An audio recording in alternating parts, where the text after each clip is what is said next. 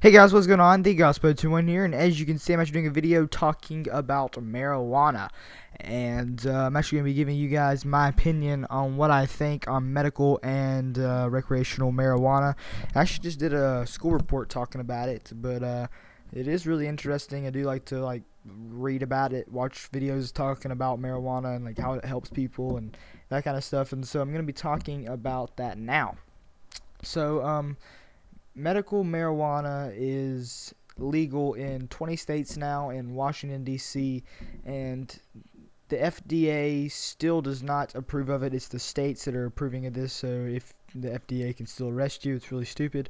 But uh, I think that medical marijuana should be legal because of uh, what it can do for people. It can help pain. It can uh, help little they can help people with seizures. It could I've seen it help a little girl um, that was five years old get over epilepsy. A little boy get over epilepsy.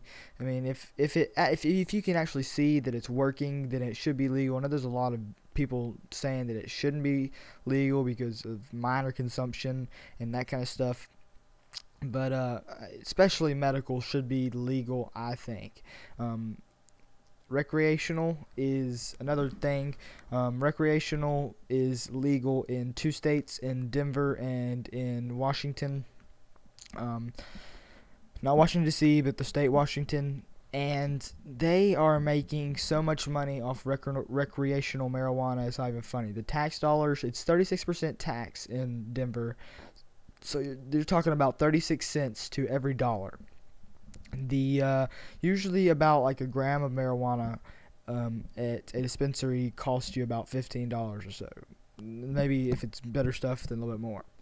Um, an ounce is like upwards to four hundred dollars, something like that.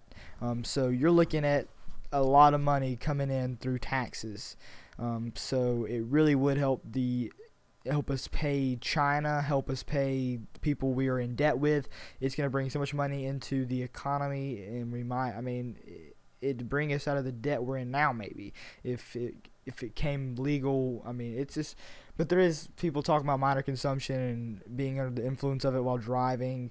But uh, I, it's not as bad as smoking or drinking. So I mean, it, it is as bad. But then again, it's not because it doesn't make you under the influence of something, but it's not. Um, you can still control it, unlike alcohol, and uh, it's better than cigarettes because all the chemicals and whatnot. But anyways, um, this is my opinion on what I think about marijuana. So anyways, thanks for watching this Gospo. I hope you guys enjoyed this video, and I will see you guys later.